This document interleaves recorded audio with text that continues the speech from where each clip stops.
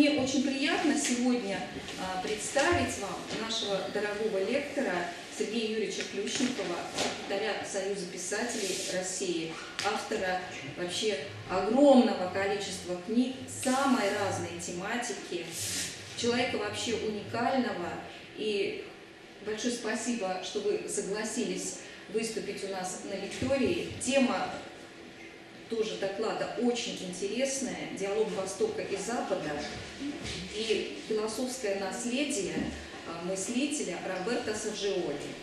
Вообще сейчас это очень актуально в связи с тем, что, э, несмотря на то, что э, Восток с Западом все время воюет, но тем не менее этот диалог происходит. Он происходит а, в работах а, различных ученых, мыслителей и даже политики сейчас задумываются, как соединить Запад с Востоком, и Восток с Западом. Поэтому всю эту проблематику нам сейчас расскажет Сергей Юрьевич, и я с удовольствием передаю слово дорогому нашему гостю, лектору. Пожалуйста. Спасибо огромное за возможность выступить сюда в Институте Востоковедения. Я никогда здесь не выступал. Зал этот напоминает больше зал ученого совета, но, наверное, так и создан, да? Вот, Нет, отдельно есть у нас зал да? ученого совета. Вот. Но тем не менее, э, значит, он прекрасен, и то, что вы снимаете, это хорошо, А, то есть это смогут видеть большое количество людей при желании. А я расскажу э, об этой теме. Ну, всем нам известен э, э, афоризм стихотворный Киплинга, Гера Киплинга «Запад есть Запад, Восток есть Восток, и вместе им не сойтись», э, который был заявлен в начале 20 века. Э, ну, вот, он отрабатывая технологию древнего белого человека и пытаясь сохранить господство э, Британской империи, э, э, родил вот эту формулу. Но, в общем-то, опровергает его вся история и э, жизнь огромного количества людей, но даже вот моя собственная жизнь, потому что в ней э, э, моя жизнь, жизнь моей се- семьи, моего отца, поэта и переводчика Юрия Ключ- Ключникова, я покажу его книги, потому что в течение многих лет, уже более 30 лет, э, я так достаточно глубоко не будучи востоковедом, к сожалению, но, скажем так, будучи, как я себя называю, продвинутым дилетантом, погружался в культуру Востока. И в то же время э, э, ну, и все, что есть лучшее на Западе, достойного тоже, как бы это интересно и не чудо. Я мог с таким же удовольствием читать, например, там Ницше, Гегеля, Шопенгауэра или Германа Гесса, хотя эти люди интересовались Востоком. В то же время там, читать книги Махабхараты, э, Хамападу буддийскую, или э, Таран, например, или э, труды суфийских мыслителей. Э, И э, вот я, э, э, значит, нахожу в начале книги своего отца, потому что у него тоже, вот, э, он поэт и переводчик, но последние пять лет он осуществляет уникальный мировой проект, в котором я принимаю самое активное участие. Он э, делает вольные, то есть художественные переводы мировой поэзии на русский язык, вводит их красивую русскую метрику, скажем так. Вот вольные переводы французской поэзии э, значит, э, э, 12-20 века книга. Здесь ну, это самая крупная антология до и после революции, выполненная одним человеком, например. Здесь великолепные переводы э, от э, Трубадуров, там, Франсуа Вийона до Луи Арагона, поэтов 20 века. 257 стихотворений э, 57 поэтов. А вот книга «Караван вечности», вольные переводы суфийской поэзии уже. Эта книга, э, она уникальная, здесь 500 стихотворений миниатюр, 24 э, поэтов. Э, Вот, эта книга была признана лучшей книгой 2016 года в номинации «Художественный перевод Союза писателей». Вот. И я с ней ездил в Тегеран на международную книжную ярмарку, представлял ее и в Тегеранском университете на пяти площадках э, э, Тегерана. Э, И потом мы с друзьями-писателями вот в этом знойном иранском воздухе, где-то там в кафе, так сказать, мы там читали друг другу стихи, беседовали на литературные темы. Вот отец сделал вот эти переводы, да. Сейчас он, вышла книга вот эта «Поднебесная хризантема». Это уже 30 веков китайской поэзии. Вот, в принципе, то, что делает мой отец, ну, аналога нет ни в русской литературе, ни даже в мировой литературе, чтобы вот один человек вот, э, мог это осуществить. Э, значит, здесь э, от э, Шидзина, древнейших книг, Идзина, Дао Дэ Цзина, до э, значит, Мао Цзэдуна и Хайдзи, 20 век. Мао Цзэдун тоже был, скажем так, звездой поэтической второй величины, это даже американские литературоведы признают. А сейчас отец завершает книгу «Шекспир» и поэты Елизаветинской поры Джон Дон, Бен Джонсон, вот, э, Эдвард Спенсер и так далее и тому подобное. У него крест такой в поэзии получается.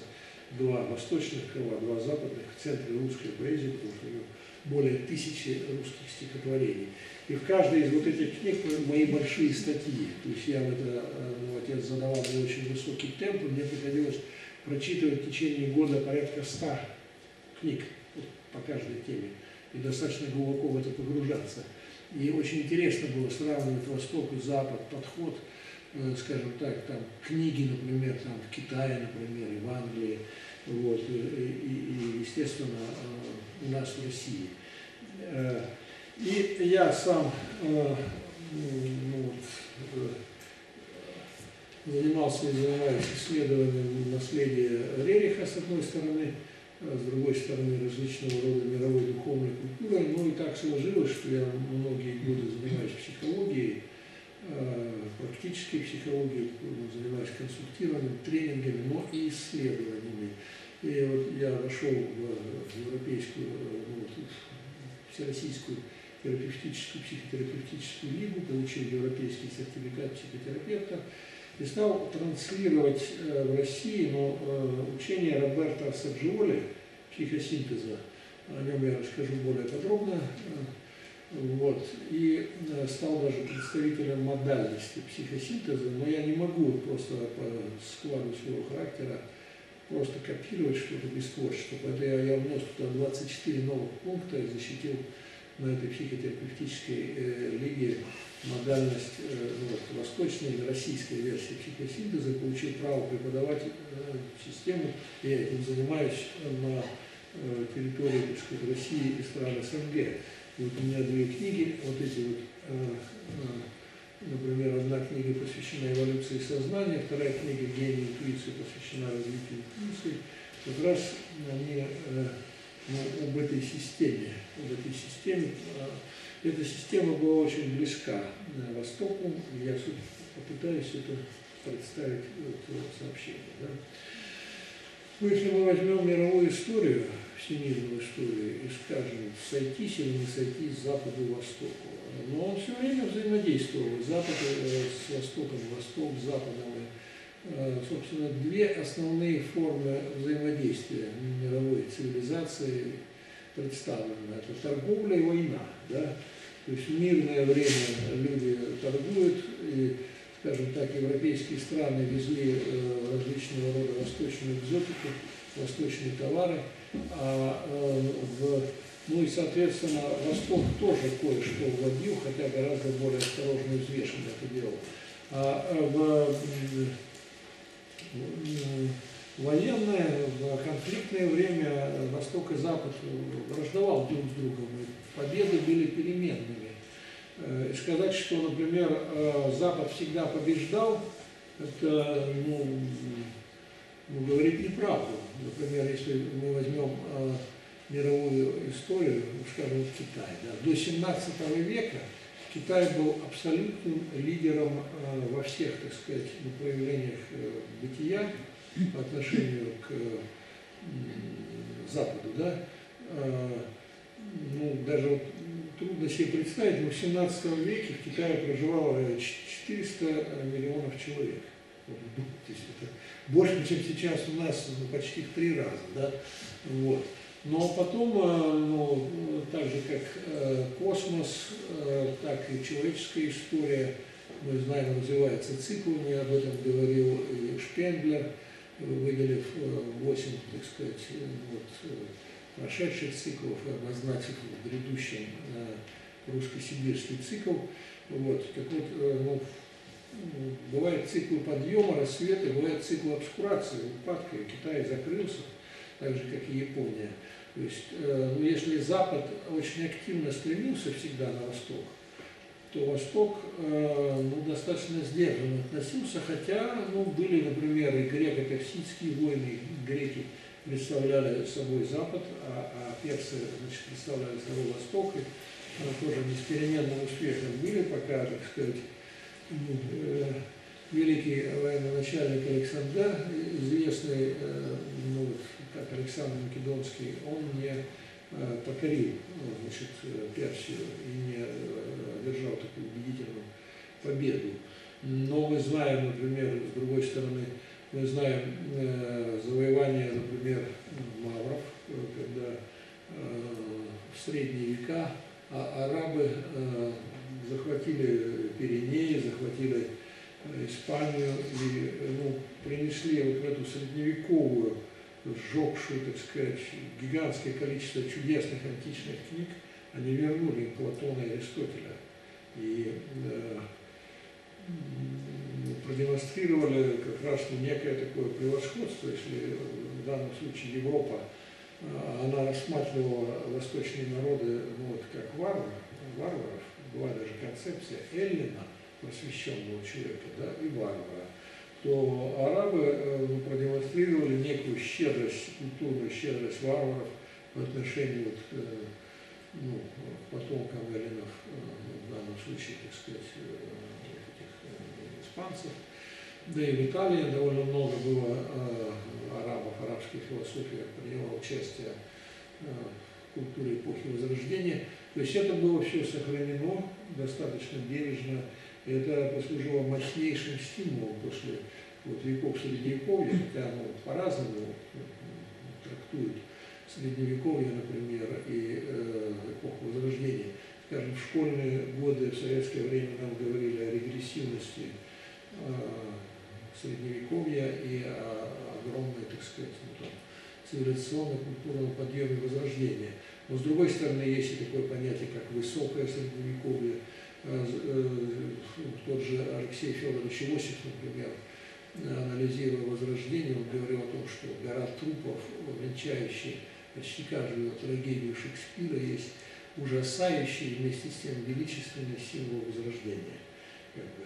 Вот. То есть ну, все очень сложно на самом деле. Вот выделять что-то здесь э, одно, э, говорить о доминировании чего-то одного, это ну, достаточно, так сказать, неблагодарные вещи высказывают. Но если говорить, например, о э, ну, вот, каких-то матрицах, лежащих в основании западной и восточной культуры, представить себе э, культуры как некие развертывающиеся такие вот реальности, то можно сказать, что вот в основе Запада лежал, конечно, индивидуализм лежал э, такая концепция или даже мироощущение некого доминина, динамизма, ориентирующегося на постоянную новизну, на постоянное обновление чего-то. Это уже было 17 века, это наблюдалось, если мы посмотрим, вот я погружаюсь сейчас в изучение культуры Англии, например, в Англии э, вот 17 век, во времена Шекспира,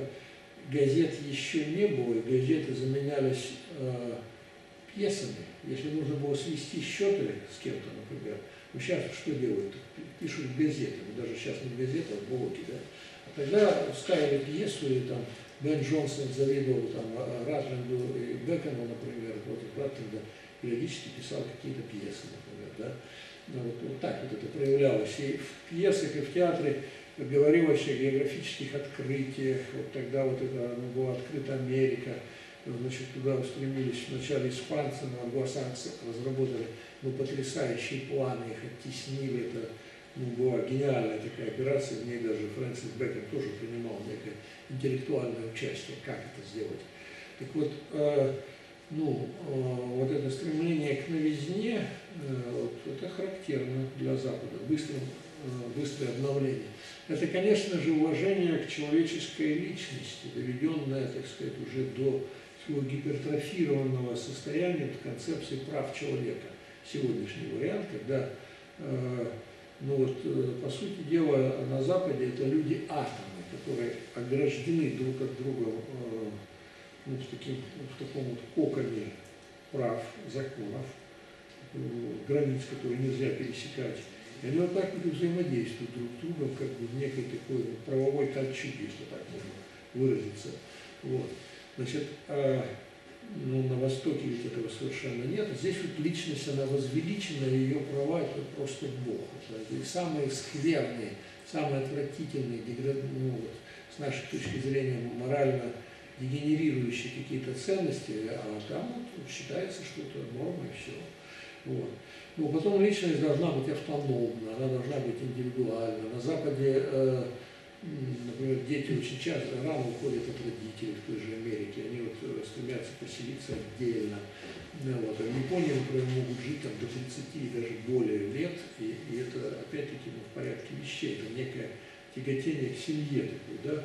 Потом для Запада характерно, конечно же, рациональное такое вот, взгляд на природу. Там Декарт в свое время рассматривал по Аметри, Э, мир как некую машину такую, да, вот хорошо смазанную машину, где все, так сказать, расставлено, и все должно быть э, прочерчено и определено. Но, правда, с развитием мира, с познанием мира уже в 20 веке появились разные квантовые теории, и они как бы и э, с точки зрения физико-философского взгляда, э, ну, такую э, легализировали некую э, часть неопределенности в мире. И вот эти различного рода сложные правовые нормы, они тоже признаны вот эту сложность мира э, регулируют. Но в принципе Запад рациональный. Человеческие деятельность это рациональное движение от э, хорошего к лучшему, от э, одного состояния к другому. Прогресс, то, что называется прогрессом. Э, вот, и все это должно быть разбито на пункты некие. Например, даже в западной психологии модное очень понятие рейфрейминга, то есть э, дробление своей жизни на некие шаги, рациональное движение э, от ступеньки к ступеньке ну, к успеху. Но для, например, Востока это в высшей степени не характерно, но может быть, кроме за исключением Японии. Э, Восток тоже неоднороден. В Востоке э, есть э, ну, страны Ближнего Востока, это одна ментальность. А в Востоке есть страны Дальнего Востока, например, да, это совершенно другая ментальность. Вот. Есть страны Южной Азии, например, там та же Индия, Цейлон, есть Китай, который захватывает и, и, и Китай. Это Южная Азия, а, а его середина это Центральная Азия. Вот релихи путешествовали по а, Центральной Азии очень много, по Тибету. Да? Так вот, э, Япония, например, вот, э, она, э, ну, трудно сказать, в силу чего, но она идеальным образом усвоила некую западную ментальность, какой-то ее части. И вот, э, например, вот то, что называется планирование, вот, они совершенно блестяще это взяли и от Запада, и, между прочим, это СССР. Мне приходилось разговаривать ну, с довольно высокопоставленными японцами, вот, которые э, ну, выражали некое такое удивление, зачем мы разрушили госплан.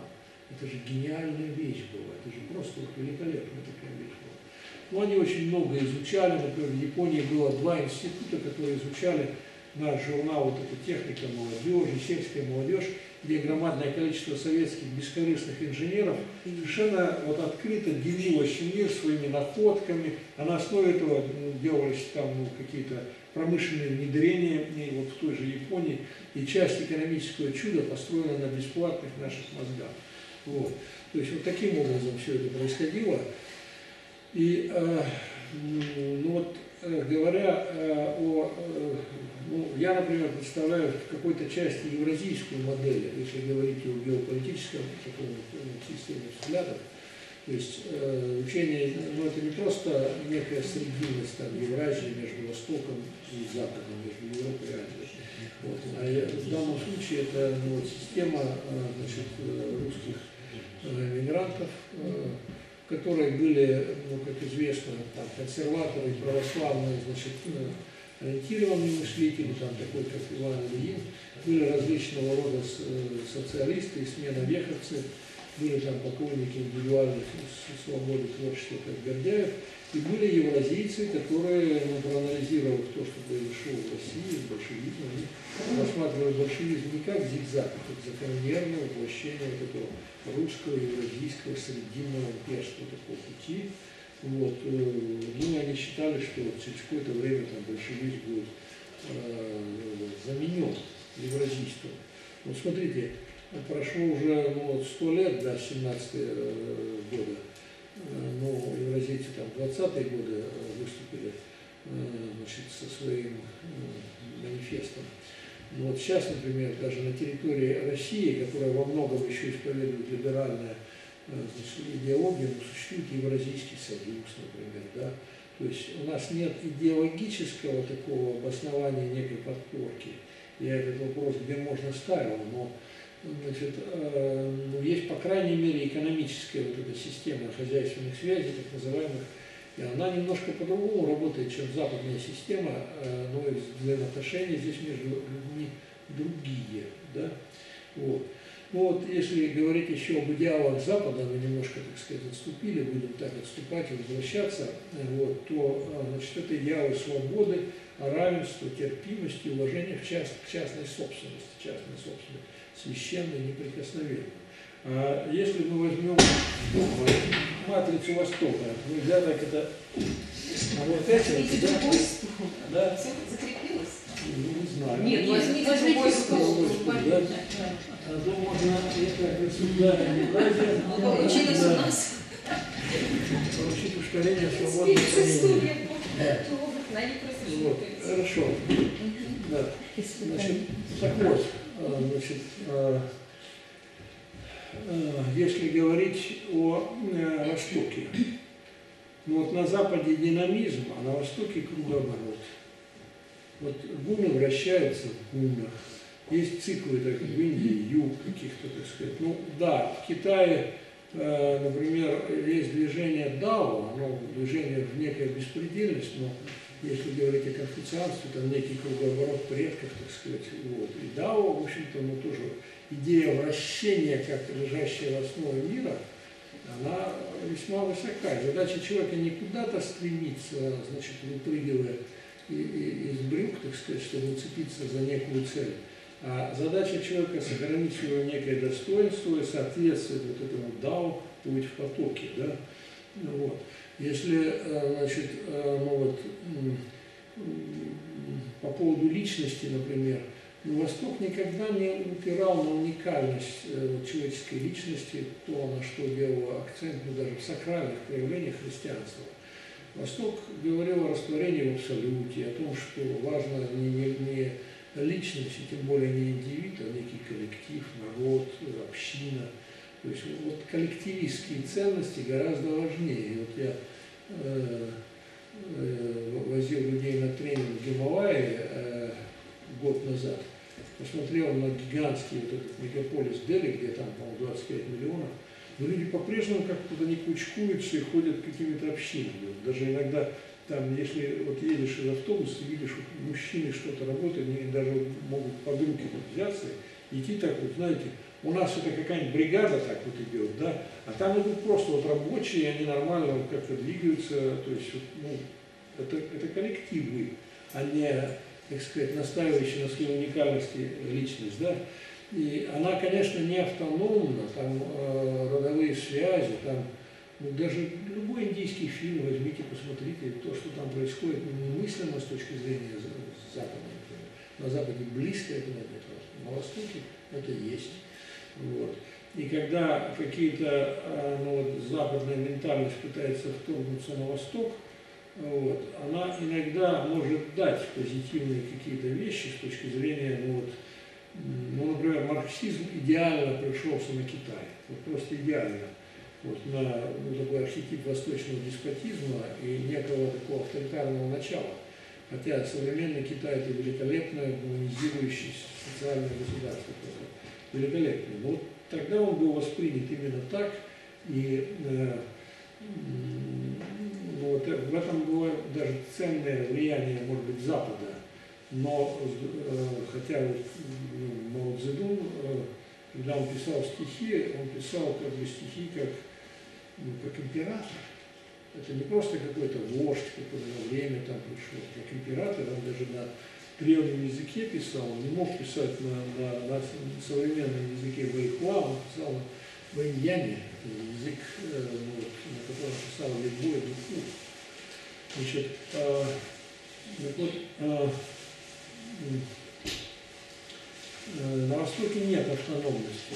В отношении рациональности, э, я бы не сказал, конечно, что на Востоке нет рациональности, но на Востоке своя рациональность, своя логика, которая ну, отличается от западной. Но вот я так довольно серьезно изучал различного рода китайские стратегемы э, и различного рода ну, такие геополитические инструменты, с помощью которых они анализируют реальность. Ну, мы знаем, да, что вот э, вершина западного, так сказать, рационализма – это э, э, комплексные адаптивные системы, это рассмотрение, так сказать, ну, поэлементное рассмотрение каждого, э, значит, ну, то есть можно любой процесс рассмотреть с точки зрения вот этой системы, и Запад активно это применяет, там, ну, даже при оранжевых революциях различных и прочее. Но вот аналитики серьезные говорят о том, что например, китайские стратегемы на несколько порядков тоньше, выше и дальше смотрят, чем то, что вот э, делается на Западе. А, потому что ну, там, полистайте книгу «Перемен», вот, в переводе Шуцкого даже, в переводе значит, Виногродского, который каждый год ее заново упорно переводит и находит что-то новое там. Вот. А, у него, по-моему, 7 или 8 вариантов уже вот этого перевода существует. Да, да, Бронислав. Новгородский. Очень интересный человек. Он, кстати, высоко оценил значит, э, вот эту книгу. Здесь его цитата значит, даже есть корешке. Значит, э, так вот, есть своя рациональность, есть своя логика значит, и в индийской традиции философии но она другая, она более гуманная, она менее расчленяющая, она все время имеет в виду целое. А на Западе порезать все вот на какие-то клочки, так сказать, изолировать его, вот как-то переставлять, так сказать, и, и э, с точки зрения там Бжезинского мира это шахматная доска, вот, которую можно было произвольно вот так вот переставлять в некие фигурки. Э, тут Китай рассматривает все как целое, например. Вот. Идеалы свободы, равенства и терпимости. Ну, а, и, на Востоке совершенно по-другому смотрят на свободу, чем на Западе. И, кстати, в России тоже э, третьим образом смотрят на свободу. Если на Западе свобода – это свобода выбора частного индивида делать то, что он хочет. На э, значит, э, Востоке это свобода следовать за потоком Дао, вот. И ну, свободное как бы, восхождение духа, свободный выбор дисциплинарного вот этого пути, я бы так сказал, вертикального. Да? А в России свобода воспринималась совсем не в западном смысле, как вот либералы, что в 19 или в начале 20 века пытались насадить. Свобода понималась как воля. Размахнись, так сказать, рука, разобись плечо, понимаете?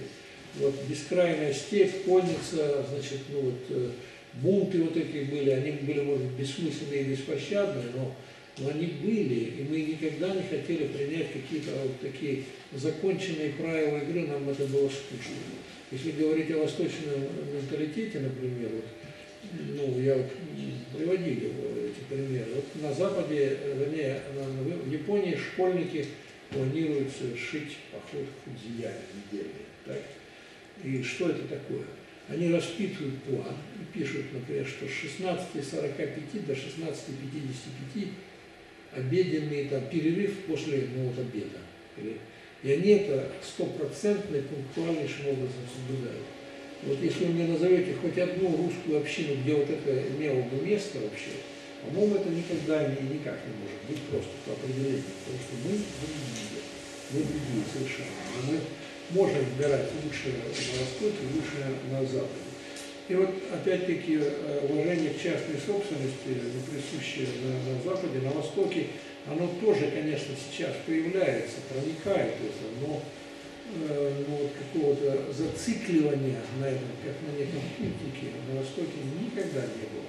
Хотя были свои богачи, и китайские мандарины, и индийские раджи, и, так сказать, богатые ну, вот, э, сановники, например, там, в странах Персидского залива. А, вот, ну, частная собственность это что-то более временное, данное во владение. Особенно вот у бедных людей, там, дервишей, э, ну это вообще как бы, она не считалась чем-то серьезным. Но на Западе, правда, тоже э, мистика бедности, например, там, Франциско Сиски, например, он это исповедовал, конечно же. Вот. То есть э, в каких-то высших проявлениях Восток и Запад сходятся, оставаясь уникальными по форме. А вот на вот таком вот проявлении это два разных мира, две разных цивилизации совершенно такие. Ну, можно, э, да, вот э, российская, так сказать, э, ну, вот евразийская система, она предполагает, например, она наследует идею сильного государства, которое принесли в свое время татаро-монголы. И она утверждает, что России невозможно управлять как славой демократии, это большое централизованное пространство. Здесь должен быть хозяин. Если его нет, это Михаил Сергеевич Горбачев, который пытается всех уговорить, главный уговаривающий, так сказать, и достичь консенсуса. Но вот консенсус не получился. Каждый его воспринял по-своему, унес, так сказать, в свой регион. Вот. Поэтому э, для нас, конечно же, ну вот, э, в этом плане ближе Восток, а культура больше европейская. Хотя вот, э, например, лерихи, они, конечно же, так сказать, показывали духовную культуру Азии и Востока. Они открыли для России вот это э, направление. Э, ну, и э, нам еще предстоит открыть и переоткрыть это, э, вот эту культуру. То, чем занимается мой отец, он ведь от чего отталкивается? От того, что, ну, скажем, в XIX веке русские поэты учились у Запада, Пушкин даже учился, э, и многие другие. И Запад был вот этой точкой отсчета. То вот он, например, отец мой считает, что ну, пора учиться у сакрального Востока, потому что вот такого конгломерата гениев, как было в Иране, например, или как было в Китае, это просто невозможно себе представить. Мы даже не знаем, ну, ну очень мало знаем, переведено крайне мало. Поэтому вот, ну, Россия уникальная в этом плане страна, которая осознает ценность э, восточной культуры. Да? Э, ну вот, э, если э, подойти теперь к теме Асаджиоля, теме Роберта Асаджиоля, э, который родился э, значит, э, в 1874 году в великолепном городе значит, вот, Флоренция. Да, и э, те, кто видел вот эту вот чудесную культуру, мне приходилось там бывать, надеюсь, что кому-то из вас тоже. Вот, ну, вот такая прекрасная система, как психосинтез, могла, наверное, только вот в таком чудесном месте, потому что Италия – это концентрат европейской культуры, вообще по э, статистике ЮНЕСКО 35% мирового культурного фонда находится э. Там в каждой деревне ты идешь и встречаешься с этими фантастическими памятниками. Да. То, что Достоевский называл священными камнями Европы. Но правда, вот э, Юрий Кузнецов, такой поэт, э, ушедший уже в 20 веке, он э, написал стихотворение, там последнее четверостишье, значит, э, только русская память легка мне и полна, как водой решето, но чужие священные камни – кроме нас не оплачет никто.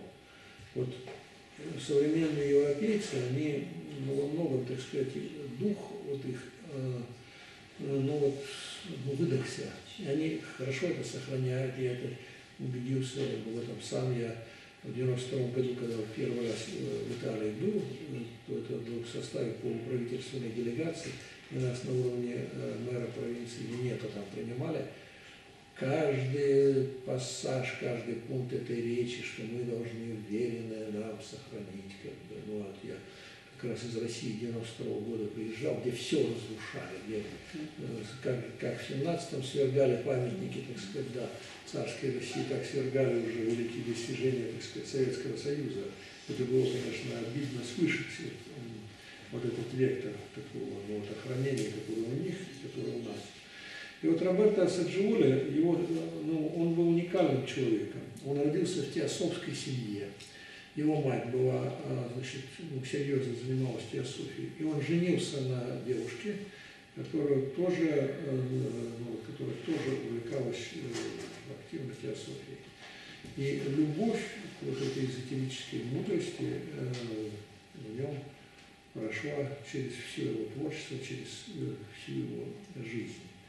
И э, Роберто Саджоли э, значит, оказался в атмосфере, э, когда, ну вот если помните, Ницше говорил, вот Бог умер, многие писали там о кризисе европейского гуманизма, он не в 41-м произошел, произошел гораздо раньше, произошел ну, уже перед Первой мировой войне, войной, даже когда там гуманисты Германии, такие как Томас Ман, говорили о том, что Германии пора расширить какие-то свои, так сказать, пространства, и страны, еще не понимая, что произойдет, вот они уже мерились силой, толкались плечами друг с другом.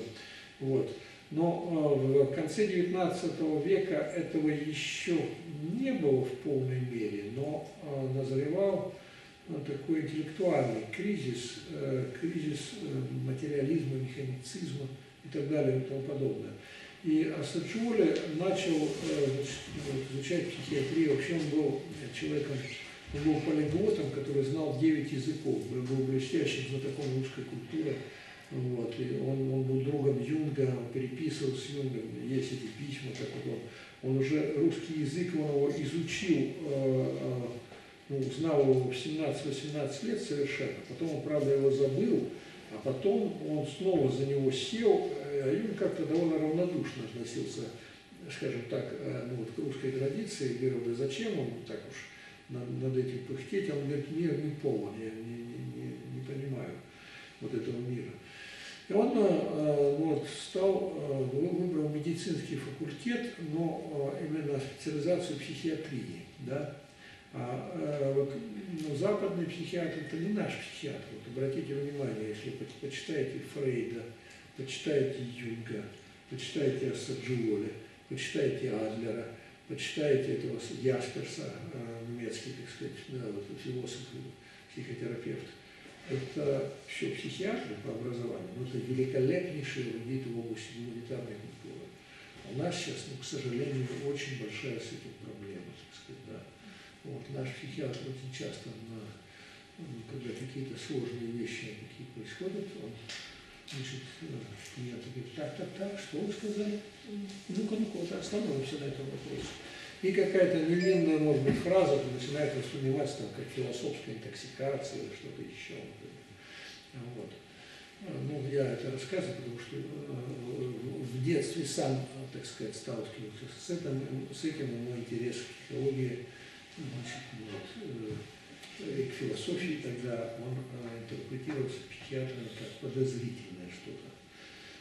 Значит, так вот, Роберто Ассаджоли он учился в Швейцарии. Швейцария это была мекка вообще психоанализа. Он не мог пройти мимо Фрейда. Фрейд был, ну как, я не знаю, как гигантский щит какой-то на, э, так сказать, небольшой улице, который, который не может не привлечь себе внимание, как гигантский рекламный щит такой. Все туда вливались. Вот. И, и э, значит, туда громадное количество людей шло. Вот. Он разработал метод психоанализа, метод свободных ассоциаций, где ну, вообще говорили, что психоанализ – это э, направление богатых дам, да, которые лежат на кушетке, могут лет 15 так лежать и э, рассказывать свои ассоциации, а психиатр, так сказать, психоаналитик – в конце концов раз выявляет что-то, значит, у них. Вот, и считается, что это даст некий катарсис такой. Ну, Фрейд, конечно, был очень образованным человеком, он э, тоже рассуждал о гуманизме, он разбирался в, э, ну, вот, в культуре, он тоже считал, как и многие продвинутые люди, что трагедии Шекспира написал не вот этот актер, ростовщик Шекспир, а другие люди. Он верил, что это был граф Оксфорд, вот, потому что там было 50 кандидатов. И э, значит, ну, Фрейд покорил поначалу Роберта Саджоли, тот увлекся. Но потом, когда он стал погружаться в эти проблемы, он увидел, что, в общем-то, психоанализ беден. Вот тут эзотерический опыт, который он э, получил ну, при домашних студиях каких-то, он ну, никак не вписывался вот во все это. Но это некая такая боковая ветвь, некая такая сублимация, такая, ну, в психоанализе рассматривалась. Вот. Ну, собственно, так и было изначально по своему вот, э, ну что ли, по своей задумке. Потому что вот в конце жизни Роберто Саджиори, уже всемирно известного психотерапевта, спрашивает, а почему не остались э, ну, вот? Ведь блестящая карьера была вообще, ну, вот, можно было там, много денег зарабатывать и так далее. Вот. Он сказал, что вы знаете, говорит, вот, Фрейд в одном из поздних интервью своих признавался, что его с раннего периода, вот если сравнить человеческое сознание с домом, его интересовало только, что делается в подвале. А он говорит, а мы психосинтезе хотим подниматься по всем этажам, мы хотим подняться на крышу и хотим, так сказать, принимать солнечные ванны, любоваться звездами.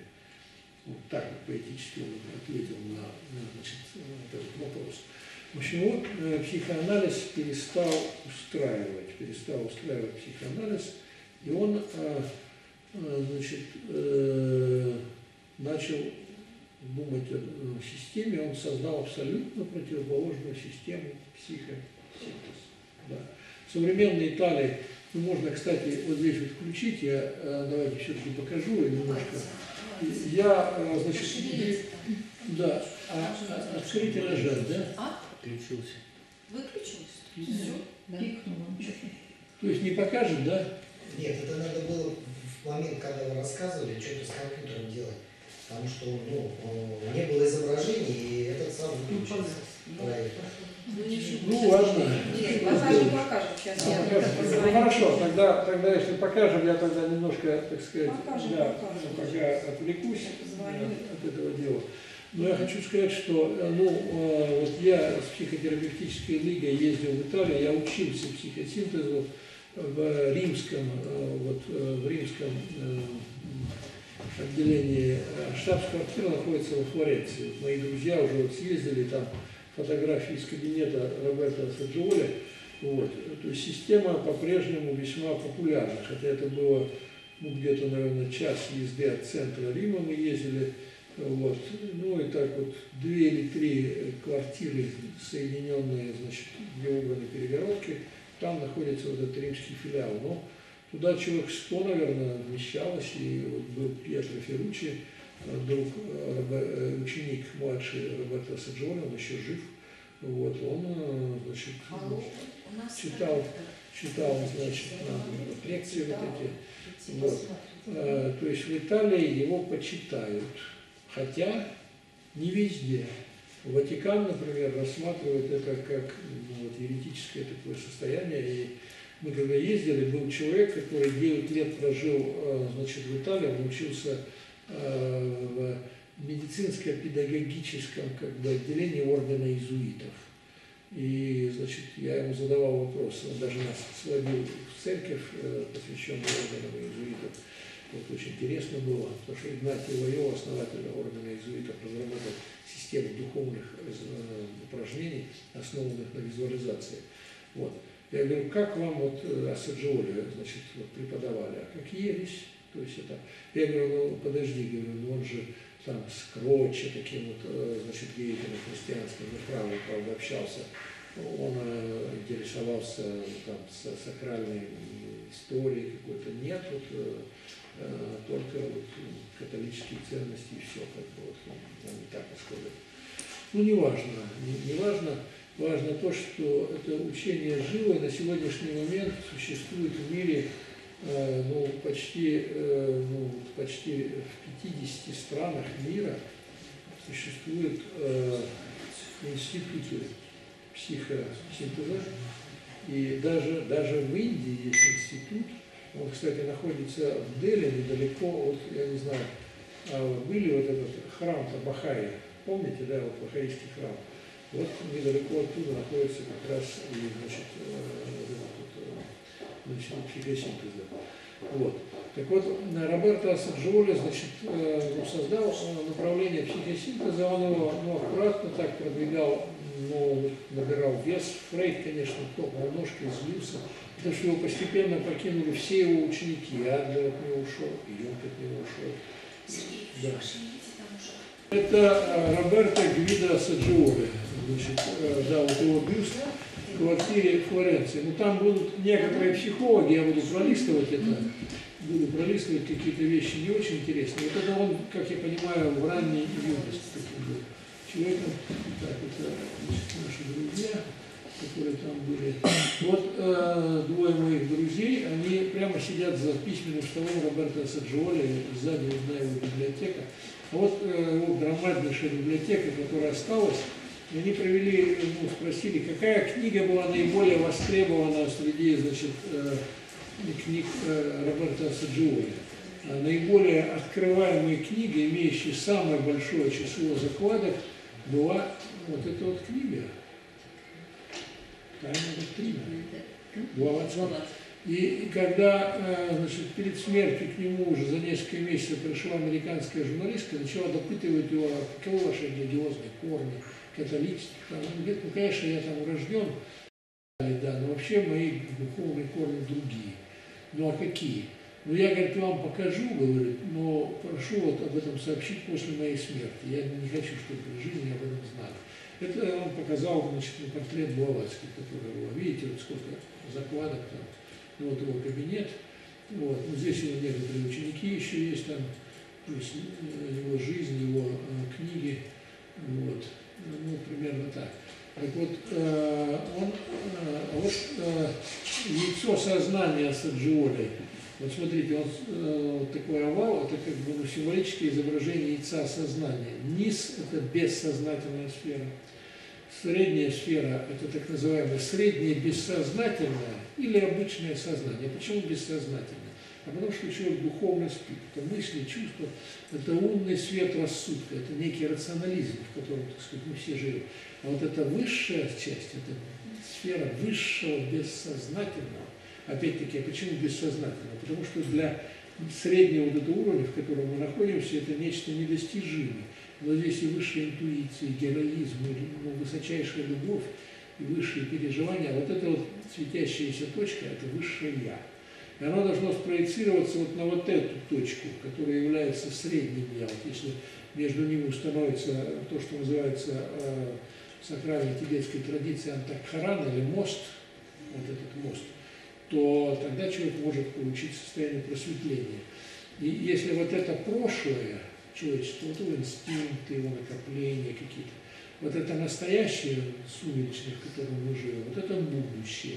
Это будущее эволюции человека. Здесь высшие способности, высшие психические, так сказать, составляющие. То есть Асаджоли, строя свою теорию, он ее строил на основе ну, достаточно глубоких, глубокого знания и понимания Востока и устройства человека. Обратите внимание, что вот это вот э, ну вот, э, пунктирная линия, охватывающая это яйцо. Что это такое? Это тончайшая мембрана некой такой границ сознания. Э, вот это вот яйцо сознания, оно плавает в океане коллективного бессознательного по Юнгу или тонкого мира по теософской традиции, в котором существуют и мысли, и образы, и вообще все существует. Почему она пунктирна? Потому что она прозрачна. Вот чем более грубо материалистический человек настроен, тем меньше интервалов будет инкрустировано. Вот. Чем он тоньше, так сказать, тем они вот, ну, чаще существуют. Но если очень много будет интервалов, особенно снизу, то человек может быть психически неадекватен.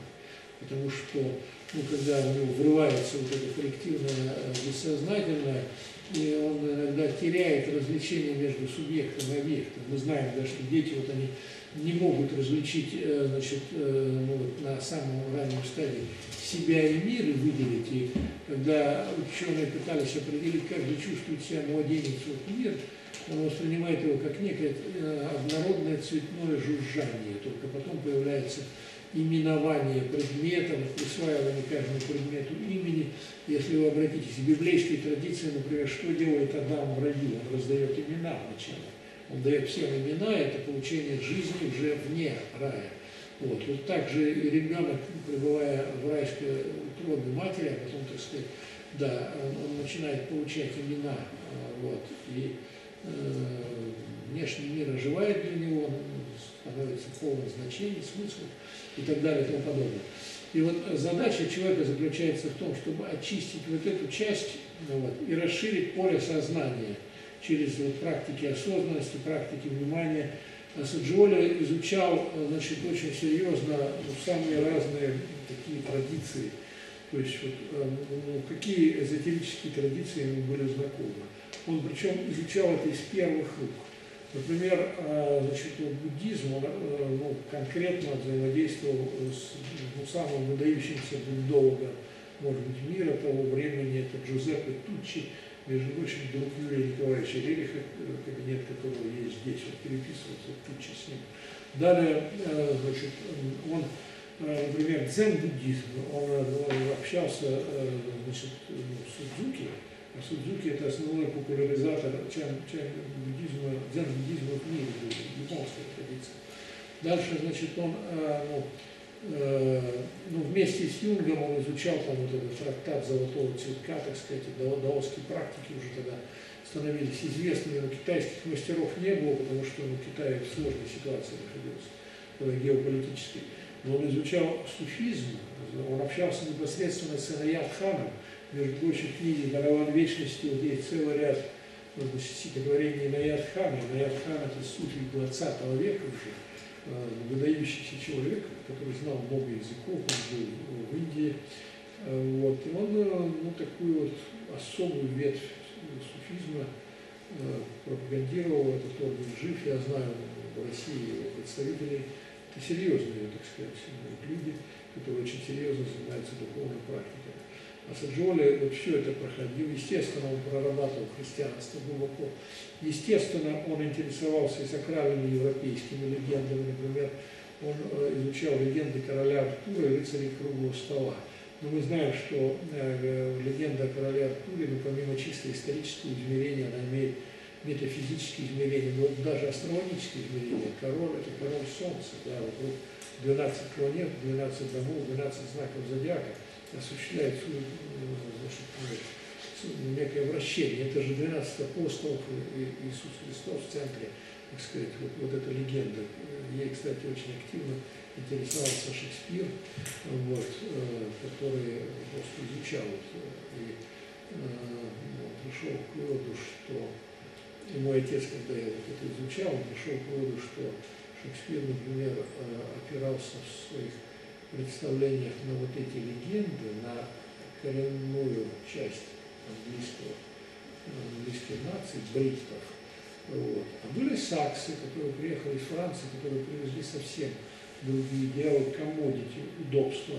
То есть прото общество потребления, оно было уже тогда заложено. Вот. Ну так вот Ассаджиоли все это достаточно глубоко знал. Э, вот. И создавая свою систему, он, ну я не знаю, будет ли у них здесь, по-моему, у них, наверное, здесь вряд ли что-то будет. Сейчас еще. Нет, наверное, не будет уже. Вот. Думаю, что да. Думаю, да, но если вот по этой схеме говорить, вот э, трехслойное человеческое сознание, нужно, э, значит, вот э, очистить свое сознание от хаотических мыслей, негативных эмоций, негативных черт, и устремить его вот к этому высшему Я, или высшее Я прольет на него в этом случае, ну, может быть, прольет свои лучи, человек получит некое состояние вдохновения или озарения. Вот в чем заключается модель системы Роберта Саджиоли вообще? Он э, значит, говорил, что человек состоит из так называемых субличностей. Вот, э, вот этой христианской неделимой личности он противопоставил некую другую концепцию, которая отражает ну, вот, некую раздробленность и противоречивость современного человека. Если мы даже видим, значит, вот по Фрейду, например, вот снизу на человека давит бессознательная сфера. Я хочу. Сверху Фрейд э, высшее я отрицал, он считал, что это некая мораль общества. Она давит человеку нельзя, надо. И бедный человек, невротик, вот посередине этого мечется, бегает, и он либо, значит, ну, впадает в невроз, вот, э, либо он может заняться сублимацией, уйти в творчество, как-то возвыситься, но не то, что к высшему я подняться, так высшее я, как божественную искру Фрейд отрицал. Вот. А Саджиоли, ну, совсем по-другому вот увидел вот это взаимодействие, ну, я бы сказал, что задача человека заключается в том, чтобы соединиться с этим высшим я.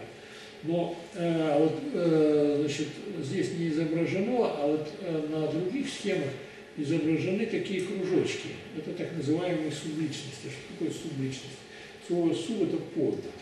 Это как бы недоличности такие, но некие мелкие ролевые «я», которые человек в процессе жизни усваивает. Вот есть архетипические я, например, там отец, мать, дочь, сын, так сказать, вот какие-то такие вот вещи там, например, да. Вот. А есть э, ну, чисто психологические. Человек может быть рубахой парным, человек может быть там домашним деспотом, может быть там добрым начальником или наоборот, значит, ну, добрым, так сказать, для семьи, а свирепым начальником. Может быть там, э, значит, ну, у него одно я, значит, с друзьями, другое я дома и так далее. И у каждого человека есть 5-7 основных субличностей, да? Есть э, у человека ну, более мелкие субличности, ими, говоря христианским языком, легион. То есть это множественные структуры, которые расщепляют человека. Человек, живя попеременно, с ними отождествляется. Он как бы садит их на трон своего существа, на трон своего внутреннего существа. И, значит, э, через какое-то время, и он э, вот в этом состоянии, когда он, например, ну, подвержен аффектам или обиде, или предубеждению, например, ну, вот он проявляет недоверие к какому-то человеку раздражение, он в этот момент может наговорить гадости какие-то или кому-то другому наговорить, например, да? вот, порвать вообще с человеком. А потом, может быть, к нему вот придет такое понимание, что он не прав, он сделает попытку примириться, а ему, например, откажут а может какие преступления совершить, может что угодно он сделать. То есть э, платят по счетам другие, а он раздает векселя. И, э, значит, э, э, субличности, вот они, как лебедь, рак и щука, тащат человека в разные стороны. Поэтому, говорю о Саджиоле, нужно э, значит, примириться. Примирить эти субличности в А как их примирить?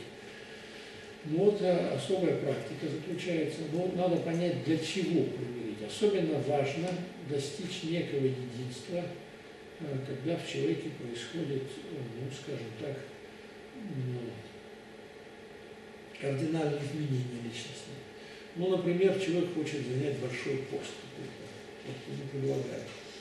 Вот, у него должна внутренне вырасти такая субличность начальника. А что такое начальник? Начальник – это ну, довольно авторитарный человек, который не, не влазит в детали, которого интересует не дружба, так сказать, а дело, вот, чтобы шла работа, который может приступить по столу когда-то, который больше знает и дальше видит, чем подчиненный, и который способен все это организовать и спрашивать. И вот если человек, например, идет на вот эту должность, не сформировав в себе вот эту субличность, его через какое-то время смещает. Он не создал соответствующую субличность. И психосинтез, э, работа психолога, психотерапевта вот в этой модальности, в этой традиции, она помогает это собрать. Или, например, даже ну, более понятный, может быть, близкий всем, так сказать, пример, вступление в брак. Вот человек вел холостую жизнь, достаточно свободную, там встречался э, с людьми противоположного пола, но вот он решил э, значит, жениться или выйти замуж у него должна быть сформирована тогда э, субличность мужа или жены. Если она не сформирована, и он вошел с холостыми принципами значит, в новый брак, вот, она начнет доминировать, и другому это не понравится. И 80% разводов, которые нас на сегодняшний момент имеют место быть, и, и когда пышные такие свадьбы, значит, ну, с лайками, там, с фотографиями, а через месяц они родители кидают кучу денег туда, а значит, потом разбегаются люди. Почему? Потому что ну, была субличность э, некого такого блеска, так сказать, да, вот э, из этого шоу устроить. Вот эта субличность была. А субличность понимания того, что брак это крест, нужно терпеть, нужно настраиваться на другого человека. И только так можно сохранить брак. Вот этого не было. И люди это потеряли. Вот. Э, или, например, даже человек, ну, например, Э, разошелся, да, вот он остался один или одна женщина, почему вот она одна? А потому что у ней, э, ну вот, те потери, которые она получила, у ней не сформирована, э, ну скажем так, вот, субличность ну, новой невесты или новой жены, она как бы внутренне одна. И я когда консультирую, например, даже ну, вот, более 6 тысяч человек за 30-летнюю практику проконсультировал, огромнейший опыт. Вот. Э, И когда, значит, э, ну вот, разговариваешь с женщиной, то вот, ну, она одна, а, ну, вот представь свое будущее, ну, представляет там, каким-нибудь менеджером работать. Ну, куда-нибудь поехала там в Карловы Вара, там, в Венецию, куда угодно. А с кем ты поехала? А с подругами или одна? Так если ты вот э, как бы, и даже на уровне субличности, на уровне мечты нет другого, нет рядом человека, ты так и будешь одиноким человеком.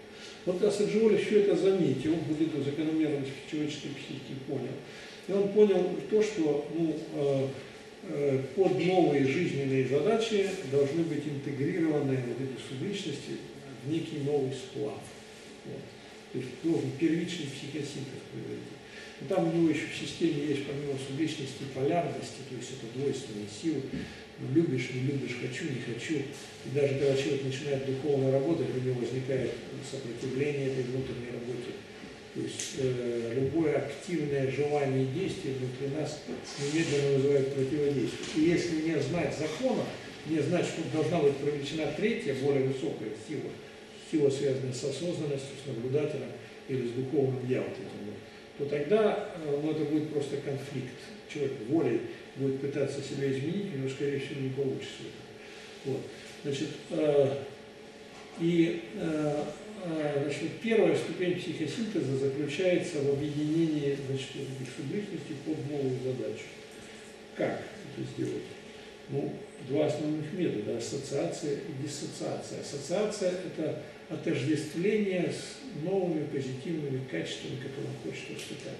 Он не уверен в себе, вот нужно ассоциироваться, слиться с уверенностью, создать ее образ, воспитывать его, медитировать на него, постоянно его воплощать, постоянно его держать в сознании, лелеять образ, ловить ощущения телесные, ловить эмоциональные ощущения, и в конце концов вот этот образ позволит ему воспитать эту новую черту в себе. А с другой стороны, если человек хочет освободиться от какого-то своего недостатка, от негативного качества, то тогда он должен разотождествиться. Он должен э, ну, вот, э, отдалиться от вот этого своего э, «я», наблюдать его со стороны, перестать, перестать его подпитывать. И когда человек смотрит со стороны на какую-то свою черту или на недостаток, но таким прохладным, отстраненным взглядом, черта или состояние негативно угасает. То есть мне очень этот метод был близок. Я книги о Саджиоле прочитал еще ну, вот, не, не последние годы, когда вот все стало было модно. Я прочитал еще там 80, в начале 80-х годов, потому что книга о Саджиоле «Духовный кризис» была издана, переведена, издана теософами в Латвии до 1936 года она выходила. Вот. И значит, вторая часть психосинтеза – это значит, ну вот, соединение с высшим «я». Оно полезно как на первой стадии работы, так и на последующих стадиях. В каком смысле оно полезно? Ну вот э, соединение с высшим «я» и получение ответа от высшего «я» сродни ну, некому богословлению, если хотите, посвящению. Высшая часть нас нам посылает приветственный сигнал. Прекрасно, я одобряю то, что ты делаешь. У нас рождается чувство вдохновения, состояние потока, состояние, так сказать, наполненности такой. Мы с энтузиазмом делаем то, что нам нравится, потому что высшая часть послала нам энергию. А представим себе другую модель жизни, когда человек живет без божества, без вдохновения, как говорил Пушкин. Мы что-то делаем, а мы чувствуем в нашей внутренней природе это вот, не идет, не нравится это. Вот. А, значит, ну, вот, э, но э, тут, конечно, двоякий момент, то есть человек с развитой волей, он может даже рутинные, но необходимые вещи превратить в источник вдохновения, рассматривая их как тренажеры жизни, как развитие воли, например.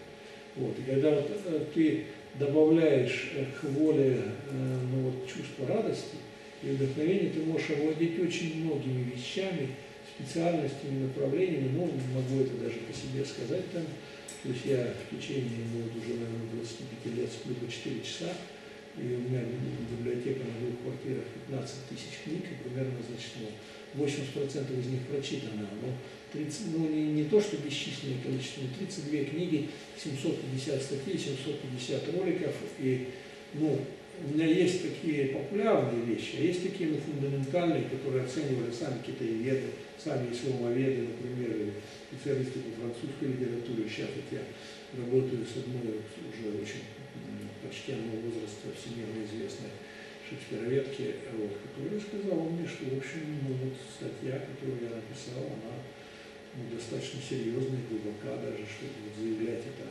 Вот за счет чего это достигается? За счет того, что если бы я это делал на одной воле, то этого было бы недостаточно. Интересно познавать новое, преодолевать препятствия. То есть каждый раз перед собой брать некую планку какую-то. Психосинтез, он еще и психосинтез соединения с целями, которые мы ставим перед собой. Вот. А, так вот, а, соединение с высшим Я, оно помогает и на первом уже этапе, когда человек даже решает какую-то бытовую, обычную жизненную задачу. Там надо устроиться на работе, надо прокормить семью, надо, значит, ну, вот, э, там, ну, какой-то трудный вопрос решить. Если перед этим настроиться на связь с Высшим Я, помолиться, помедитировать, произнести некие аффирмации, представить какие-то образы, устранить препятствия внутренние, которые есть. Очень важно также через тело уметь это пропускать еще, вот этот импульс. то тогда все идет гораздо легче. А если, значит, э, ну вот, э, человек не умеет это делать, тогда это ну, в лучшем случае на насильственной воле, а это не срабатывает. Ну, на какое-то время срабатывает и не помогает. А более высокий этап – это ну, вот, э, уже этап, связанный с, э, когда человек, решив свои какие-то бытовые темы, решает посвятить себя духовному совершенствованию. Он соединяется с Высшим Я и достигает более глубокой стадии интеграции, вдохновения, озарения и наполненности. Ну, а Саджиоли был очень серьезным человеком, он понимал границы психосинтеза.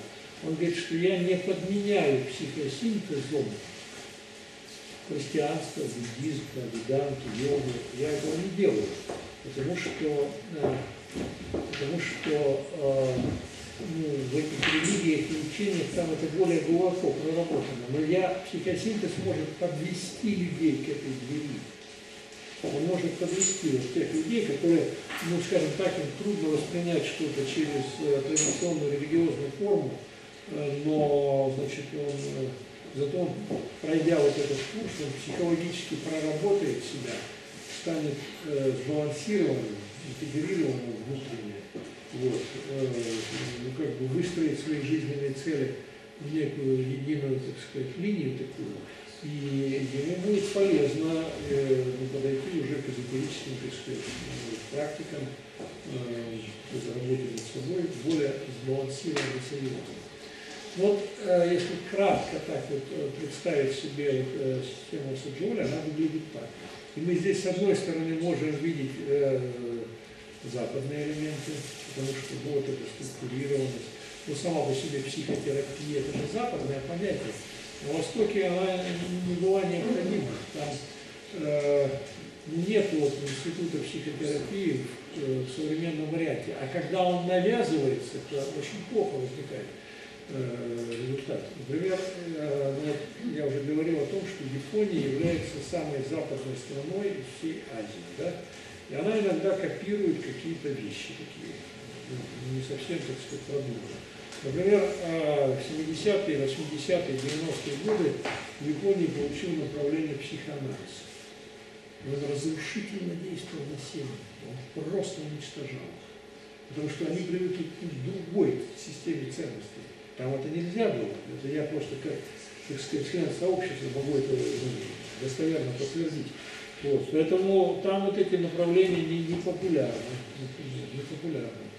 Вот. И э, опять-таки, ну, есть понятие такое гений места, вот, э, все созвучно как бы чему-то. Например, вот я был на Сицилии в прошлом году, и я задавал вопрос, а, а там, а, значит, ну, психоаналитики есть? А зачем? Говорит, у нас столько солнца, столько моря, какие на психоаналитики на кушетке где сидеть. Вот. А Саджиоли, он более солнечный, да, там еще как-то его система распространена, и то они ворчат, что они, значит, вот они забыли там, я там, когда вот в Риме был, беседовал там, значит, с женщиной, которая читала лекции, она говорит, тут там в Англии это изучают, еще где-то, а у нас, ну, так сказать, недостаточно воспринимают. Вот. Так вот, э, значит, есть и западные, и восточные понятия в этой системе, и это, она очень органична. Но я ее когда адаптировал к России, я ее ну, ввел ну, целый ряд новых понятий, потому что ну, ну, ну, другие, не целостные изначально. Для нас, конечно, очень важна вот это состояние увлеченности, некоммерческой, так сказать, составляющей, потому что ну, те, кто любит коммерцию, они любят, ходят к психоаналитикам, например. А психосинтез это не очень такая система, ну что ли, нацеленная на заработок, то есть она ну, просто на воспроизводство работает, так что дает какую-то систему. Вот, но, но вот, конечно, психоаналитики, ну, это целое такое сообщество, иногда даже называют его мафией, так сказать, да, ну, коллеги, я так не буду категорично вслух высказывания, но они вот зарабатывают гораздо больше, потому что это модно. Фрейд популярен среди психологов, потому что он, ну, скажем так, научил зарабатывать психологов деньги. Для этого это была просто наука, никто не занимался этими вещами. Вот. И судьба Саджиоля была, конечно, достаточно драматична самого.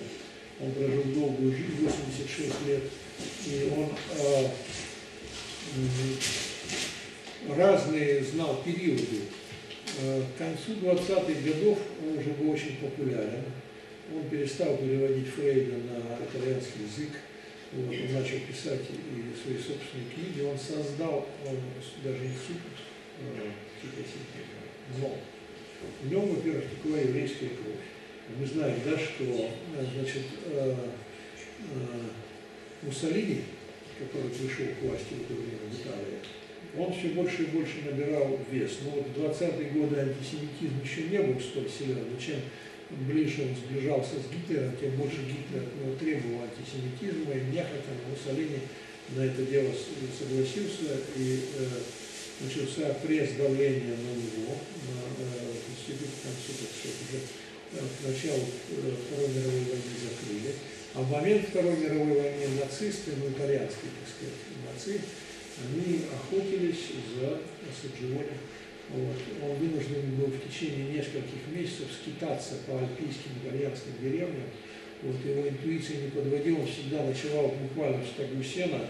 Вот. Э, ну, как бы он уходил там, где вот они его настигали. Потом раз и, и уходил. Вот. В конце концов, ему удалось все-таки сохранить свою жизнь. Вот, хотя умер его сын от истощения, э, и ну, достаточно трагично он воспринял все это. Но потом он воспрял все-таки духом, и после войны он начал, уже институт был создан, вот, ну, он был даже антифашистскую такую направленность, как бы имел, такую ну, в плане гражданских позиций таких. И, э, значит, он э, начал взаимодействовать с психологами мира. Если вот он э, в начале века ездил даже в Россию, в российское аналитическое общество, опубликована его статья, там написано в 17 лет, то здесь он стал уже связался, э, ну, а центр э, это развития мировой психологической мысли была Америка, да. Мы, это, итоги Второй мировой войны были такие, что мы получили, ну, разоренная страна заводы, и, так сказать, материальные предметы, там, вооружения, которые нужны были э, нам. Американцы получили новые технологии ученых, и э, в Германии э, это была основательная такая школа, они вывезли оттуда значит, психологов, которые занимались глубинной психологией, заставили их работать на создание бихевиоризма, рекламы и прочее. Ну и так же, как значит, Вернер фон Браун, например, то есть возглавлявший немецкую структуру, возглавил потом НАСА и вполне, так сказать, стал еще правее Папа Римского таким проамериканцем. Так многие э, психологи начали работать на Германию, вернее на Америку, и появилась довольно сильная психологическая школа в Америке. Вот. Но Асаджиоли привлекали гуманистические направления. Он начал общаться с Абрагамом Маслоу. Абрагам Маслоу пригласил его с лекциями в Соединенные Штаты, и он год или полтора там провел, триумфально поехал всю Америку, и, э, значит, ну, его работы начали выходить там, э, и э, он приглашал и э, Фрома, насколько я знаю, и Роджерса, особенно такого одного из основателей гуманистической психологии, и Маслову к себе.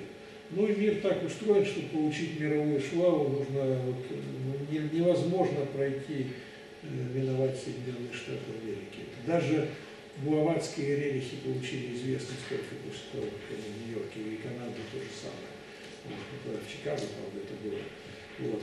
Ну и также вот Саджиоли, то есть всемирное явление, значит, ну, вот, явление, так сказать, психосинтез получил после Второй мировой войны. Ну Вот. Ну и в 60-е, 70-е годы Саджиоли издает ряд книг, кое-что у нас переведено его, я мечтаю перевести и издать книгу о воле, акт воли. Там очень интересные различного рода методы описаны его работы э, с волей. Вот. Ну вот э, в возрасте 86 лет в 1974 году он умер, но дело его живет, и он является ну, чем-то похожим на человека возрождения. Вот, таким ну, был Леонардо да Винчи, ну, может быть, это более крупная фигура, но все равно это был крупнейший мыслитель и психолог, психотерапевт 20 века. Каким, быть, был в Англии Фрэнсис Бэкон, вот, люди знали много языков, что можно блестяще имитировать э, в разных областях, то есть мыслили очень масштабно, крупно, много могли делать, были работоспособны. И, правда, в отличие от Юнга, у которого там 30 книг Саджиоля писал на таких вот листках, он где-то 5 или 6 книг написал и заметки, но он больше работал практически с людьми и воспитал хорошую такую практическую школу, которая ну, на сегодняшний момент работает. Так что я мечтаю в Россию привести некоторых людей оттуда, вот, может быть, они проведут какие-то здесь тренинги, такие, вот. И, соответственно, вот русской культуре в высшей степени свойственен психосинтез. Он даже воплощен в нашем евразийском, даже в историческом процессе так он воплощен. Это не просто учение, а принцип развития русской культуры, русской истории. А русское мышление, оно любит синтезировать и собирать все. Собирать вот, воедино. Это на, на любых явлениях. Даже марксизм ленинизм. Помните, да? Значит, э, немецкая классическая философия, английская политическая экономика, французский утопический социализм. Раз сделали, мы забабахали, так сказать, да, исторически, но совсем другое, то, что, может быть, профессора значит, Маркс и Энгельс не собирались в таком масштабе совершенно, ну, всем, так сказать, занеси этот бульон, показали. И так во всем. И, и русская философия – это синтез, это собирание, это не... и причем он даже изначально присутствует как синтез, вот, ну, Э, герб э, Российской империи, который был взят из Византии, который вот, София Палеопова была, это двуглавый орел, да, с значит, главы, которые обращены на восток и на запад. То есть это, это наш архетип, наше мышление таково. Вот. И э, если мы это осознаем, то мы, э, ну, вот этот дурной либерализм, который царит у нас, э, вот это дурное свойство, так сказать, ну, радикально сразу отмахивать прошлое, разрубать, но это совершенно неправильно. Я когда знакомился с китайской традицией, говорю с ними, с китайцами, они говорят, что у вас как бы, много высочайших достижений, мы учимся от вас, но у вас нет культуры наследования хорошего. Ну вот приходит новый, как говорится, деятель, он говорит, все плохое было, делаем вот так вот сейчас, и все прошлое отсекается. Важно наследовать и приумножать. Психосинтез, он позволяет это сделать, то есть это некая такая, ну, с моей точки зрения, универсальная методология. И самое интересное, что Роберто Ассаджиоли, он сотрудничал с Ридихами, он э, участвовал в движении знания мира, можно почитать письма Ивановны, он ну, не то, что вот он был полным адептом таким, который прямо вот, вот все буквально переводит. Он нечто создал, некое творческое начало, оттолкнувшись от этого, близкое и родственное, так сказать, наполненное вот, вот этим духом. И, кстати говоря, э, из э, Санкт-Петербургского музея э, рерихов Юлия Будникова, замдиректора, она ездила в Италию, и там есть община итальянская, которая до сих пор занимается по системе Роберто Саджиоли, использует театрализованные различные практики, они живут на селе, у них сельскохозяйственный труд, разделывают это они при этом издают журнал. Как бы. То есть это не просто вот некое изучение в городской инфраструктуре, которое, ну вот, э, ну, человек может изучать, у него такая вербальная система взглядов, а бытие его, вот, но ну, бытие обычного городского обывателя. Он, Саджоли говорил, надо и жизнь попытаться выстроить в соответствии с этим. И вот он в конце жизни создал такую общину, группу, то есть он понимал, где есть свет, где есть дух, где есть истина. И ну, шел как бы впереди своего времени. Ну вот, наверное, то, что я вам хотел сказать. В общем чертах можно было бы гораздо больше, так сказать, поговорить там обо всем этом. Ну, если у вас есть какие-то вопросы, я с удовольствием на них отвечу. Скажем, на эту ли тему или какие-то смежные или любые вопросы. Я с удовольствием отвечу. Говорите, не смущайтесь. А вы из психологии кого больше всего? Ценю? Да. Вы имеете в виду из мировой или из современной российской? Ну, вообще, вообще, вот на чем вы основываетесь? Ну, Авторитет я основ... у вас самый такой? Ну, я основываюсь, ну, на, если говорить о психологии, именно на психосинтезе. Я, мне много дал Юнг.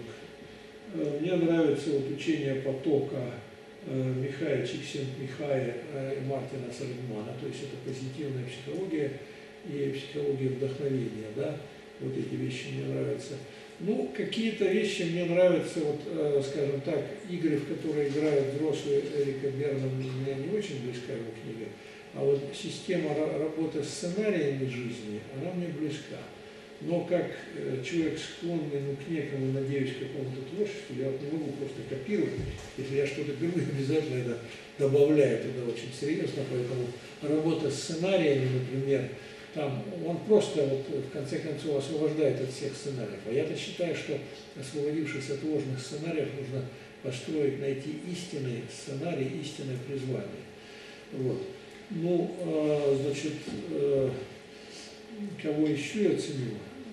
Ну, каких, я э, вот, очень близко сотрудничаю с юнгианской секцией, потому что она наиболее тяготеет к культуре вот, в рамках психотерапевтической лиги. Но у меня есть друзья, коллеги, мы взаимодействуем. Только что прошел, вот, вот в, эти, в эту субботу-воскресенье прошел э, всемирный, ну, не всемирный, а международный конгресс психотерапевтической лиги, в которой я уже, наверное, восьмой или девятый раз участвую. И э, я там в течение двух дней выступал семь раз. У меня есть своя секция, то есть я, э, есть ученики, которых я э, обучаю психосинтезу, и они потом преподают, ну, консультируют по этому методу и так далее. Они уже сделали, между прочим, блестящие совершенно доклады. Мне очень понравилось, как это кто-то на, на стыке психосинтеза и гештальта взаимодействует. Вот. Но я потом был мастер-класс еще очень интересный, трое модальностей, то есть вот, психосинтез, психокатализ Андрей Ермошин и символ драма, это немецкая психотерапия такая, значит, Обухов, на тему вот, восстановления чувства собственного достоинства. Вот сейчас человек унижен, вот как восстановить чувство собственного достоинства? Как вот себя ощущать, когда, например, ну вот, гуманитарному знанию относится вот так, как относится? Или когда, вот, э, ну скажем так, Э, на стариков идет такой натиск, так сказать, по пенсионной реформе. Ну вообще, вот, когда царство хама, вот этого царство пошлости по телевидению, вот что делать, как вот это чувство достоинства себя держать, чтобы не впасть в депрессию, в уныние, не озлобиться, или не стать маргиналом, а все-таки продолжать и сражаться. Вот мы на эту тему говорили, и ну, даже проводил сеанс, это появится в сети. Вы можете посмотреть, у меня есть огромный сайт, вот, на котором все это выложено. Я э, порядка двух статей в неделю примерно выкладываю. Вот.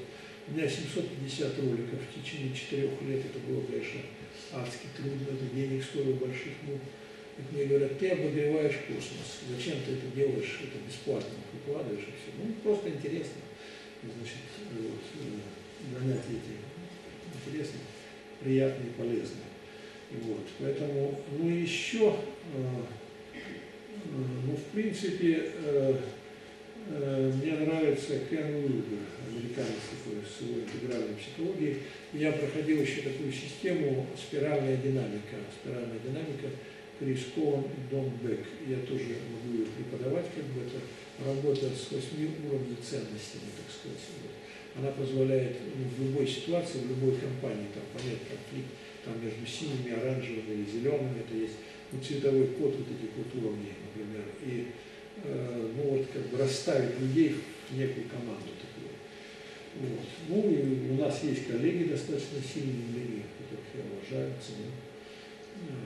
Но, конечно, вот общее состояние российской психологии, оно меня удручает в том плане, что мы копируем Запад и не, не развиваем, вот, э, не опираемся на русские духовные ценности. Вот это недостаточно совершенно, с моей точки зрения. Ну, это, наверное, издержки образования. Ну да, да, потому, Потому что что, образование психологическое, оно построено на западных программах, наверное.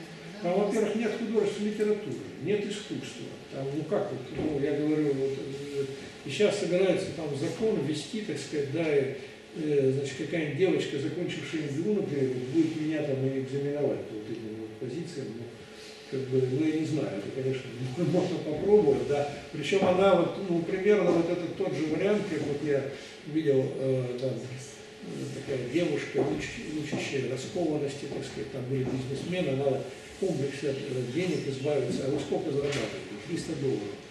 Говорит, я там ну, несколько миллионов, вы меня учите. Когда она там, ну, другая там учила семейной жизни, тоже 40-летние мужики сидели, ну а вы-то сами как бы, да вообще-то я не знаю, она. То есть психолог должен как бы отвечать, ну, соответствовать, должно быть соответствие вот это. У нас пока, к сожалению, этого нет, мы здесь копируем Запад, но все-таки постепенно набирает силу какая-то вот отечественная тенденция, и ну, даже мы поставили вопрос такой вот, э, вырабатывали некую позицию, что нужны импортозамещающие технологии в области психологии. Потому что ну, все это сделано под западные стандарты успеха и денег. Вот НЛП, например, вот эти все, всякие методы. Это же как бы вот и чувство превосходства западного человека над восточным, и над остальными цивилизовать варваров.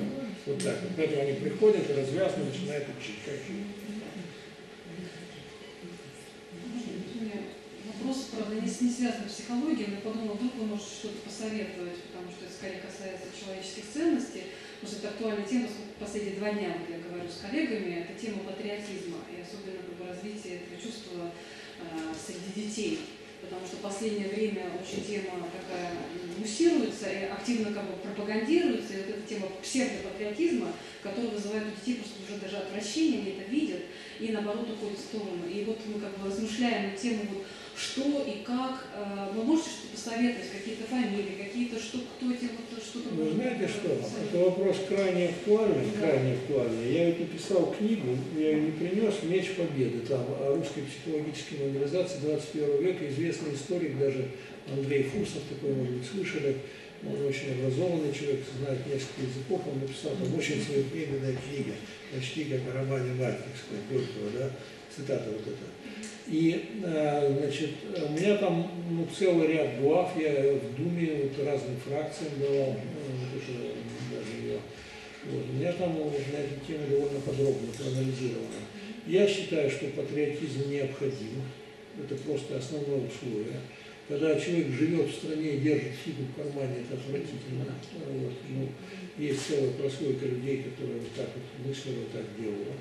Вот. Э, То есть э, но и человек не сможет жить, э, чувствовать себя счастливым, потому что он, э, ну вот, э, если он плюет на то, что здесь имеет, он не благодарен, он счастливым не будет, он не преуспеет здесь. Хотя поразительно, но на антипатриотизме делали, так сказать, цитату, и вот вытащили значит, эту цитату Самуэля Джонсона, значит, ну, вот, что это последнее прибежище негодяев, хотя на самом деле это выдернута из контекста цитата, а, значит, ее почему-то Льву Толстому приписали. Вот. На самом деле он имел в виду другое, что ну, ну, даже негодяй может, так сказать, да, вот использовать ну, патриотизм. Но э, не в том плане, что плохо патриотизм, а в том плане, что негодяи, так сказать, да, вот, поселяются в лоне патриотизма и паразитируют. И, к сожалению, хватает сейчас э, таких деятелей у нас сейчас. Я считаю, что в том виде, э, как сейчас у нас патриотизм преподается, скажем так, есть перехлест.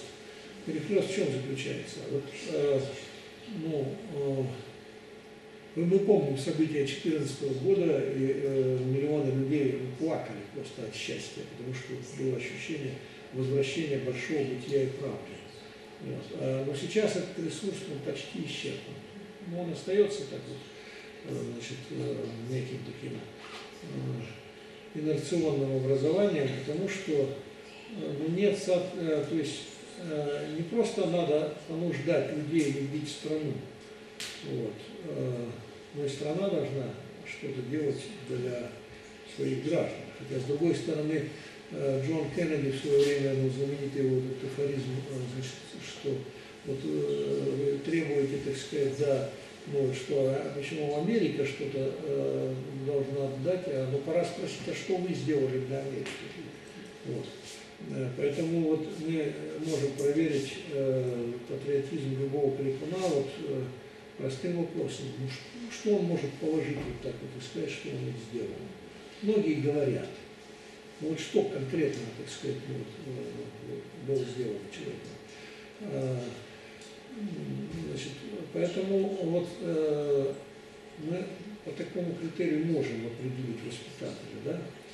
Э, Значит, э, патриотизм, конечно же, необходим, но вот сейчас очень трудная ситуация для молодежи, например, потому что почему молодежь уезжает? Она не находит себе здесь применения. Те э, образы, которые подаются здесь, они не выглядят убедительными, не выглядят накачанными. Вот. Поэтому какая-то часть людей э, ну, уезжает, хотя ну, в наиве, что там они найдут что-то. Вот. Там они будут всегда людьми второго сорта, я уж хорошо это знаю, с многими европейцами, американцами говорил. Ну, просто вот это, даже вот один мой товарищ, например, там, ну, вот, уехал туда, да, за 15 лет, и он, я его видел, он, значит, справлял, к нему ездил еще один наш общий товарищ, вот на день рождения там вот, были. Я говорю, а кто был? А, вот. А только, говорит, наши все вот уехавшие. Я говорю, хоть один американец был? А почему? А потому что вот они относятся к нам так, как какие-нибудь пижоны относятся к гастарбайтерам. Вот. Примерно вот такое отношение.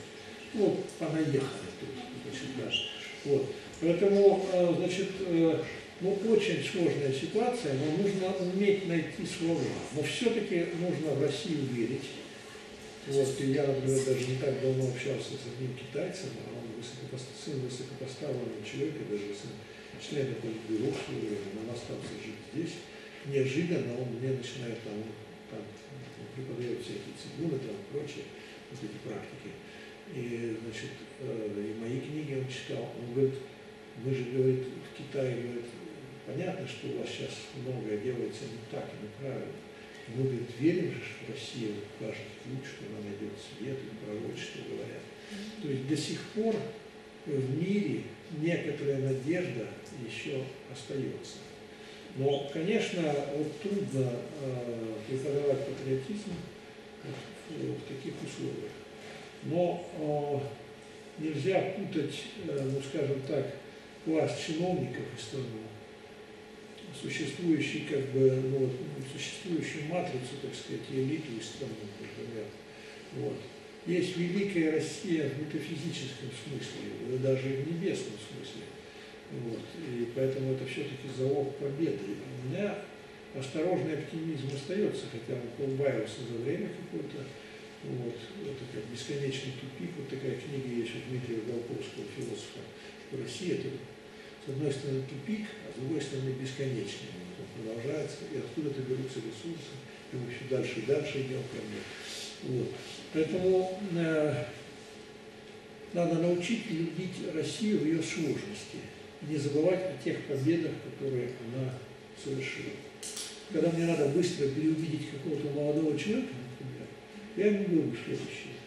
Ну, напоминаю ему, что со времен э, значит, э, Чингисхана Россия была суверенной, никогда она полностью не была завоевана, но даже в смутное время, но это была такая захват какой-то власти, но через какое-то время они были вытеснены.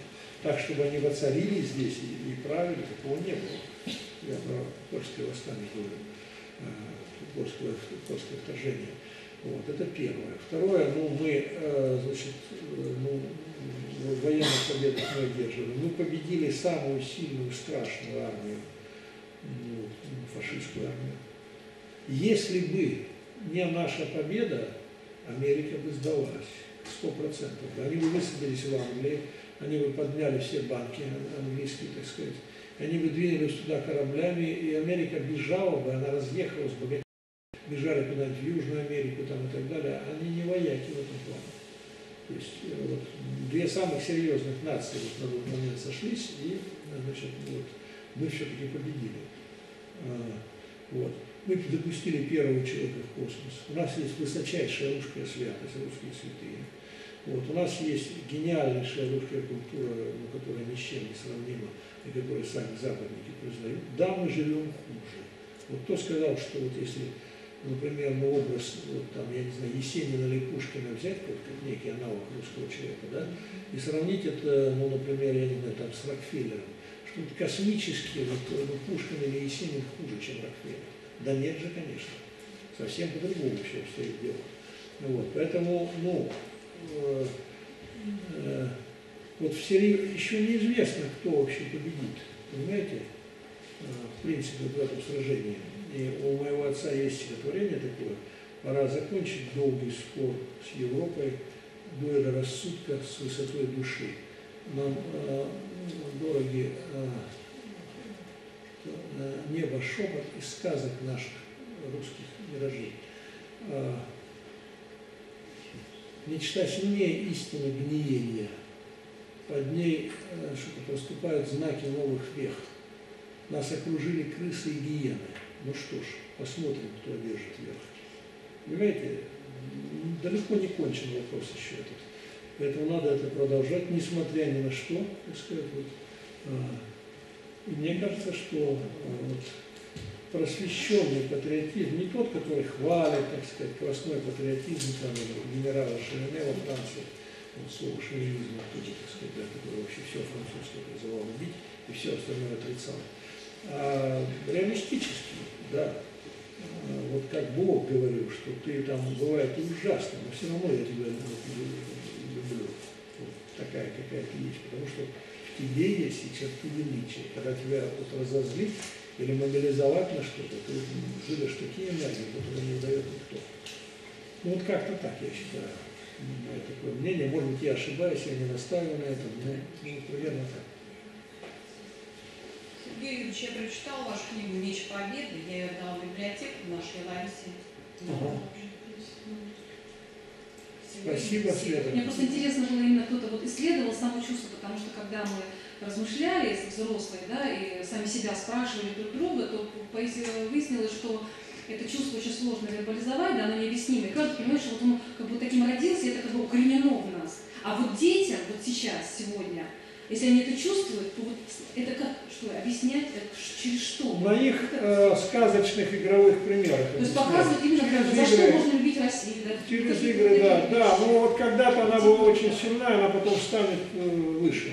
Вот моему отцу мудрец Баба Верхосин говорил, что вот э, у него было видение, ему говорили, что вот есть на севере страна дружественная, она сейчас могущественная, но потом она ослабеет, и ты должен ей помочь. И он молился, и приезжал, и общины к нему приезжали, он обучал людей, что-то давал. Вот. А детям нужно, э, ну вот, понимаете, их надо приобщать вот в игровой форме к русской классике. Вот это вот. Без этого если просто какие-то там эзотерические книги читать, это абсолютно неправильно. Русская классика, они должны там и Пушкина, и Руслану, Людмилу, и вообще вот все вот должны. Вот. Постепенно в них это вырастет чувство понимания, что многое, что, так сказать, идет на Западе, это ну, достаточно примитивно. Потом, ну, посмотрите, Запад, может быть, был хорош там, э, ну, вот там 60-е еще какие-то годы, он еще до конца себя не, не проявил но с какими пышными пороками он расцвел вот сейчас. Это же, э, значит, ну, во-первых, они планируют наше уничтожение. Вот. Созданы ну, ужасающие технологии, самые разные, например, там, нанокомары, например, э, там, ну, может быть, полтора миллиона нанокомаров. Вот он запущен и летит через океан. И он приземляется управляемым способом, так сказать, на лоб, он неотличим. Значит, на лоб какого-то, так сказать, там, ну, крупного деятеля, да, и все он уколол, и, значит, э, через ну, вот эту мембрану вот, постоянное подключение к его, так сказать, да, вот каким-то жизненным системам и так далее. Это же, это же все вот имеет место быть, поэтому э, ну, и много чего еще. Но вот это разложение, которое происходит, э, значит, связано э, с э, половыми темами, например, или с насилием. Вот, ну, посмотрите, зайдите вот в любой кинотеатр, вот, перед э, просмотром, перед показом любого фильма, идет анонсы разных, так сказать, да, вот, других фильмов. Вот сколько там ужасных монстров вылазит прямо из человеческого лица. Что-то страшное. Чем чернее, тем, тем чаще проявляется. Это же все вот есть. Вот. Поэтому, ну, вот, э, вот так вот как бы это происходит. Э, Поэтому не надо его идеализировать, этот Запад. Много есть ценного там, много разумно э, сделано. Но я считаю, что э, значит, э, миграционная эта волна, она уничтожит Запад, ну, европейский. Она его уничтожит рано или поздно. Вот. Они запу- запустили троянского коня, они это не переварят просто. Ну, это Америка же, как бы, вот, вот. А, ну, а Америка э, вызывает всеобщее раздражение все больше. Поэтому, э, значит, э, посмотрим, посмотрим. Претерпевший до конца спасется. Спасибо. Ну, и на все. Спасибо огромное за очень интересную лекцию и ответы на вопросы. Я думаю, что каждый подчеркнул что-то новое для себя. И мы благодарим Сергея Юрьевича за, да, за очень интересный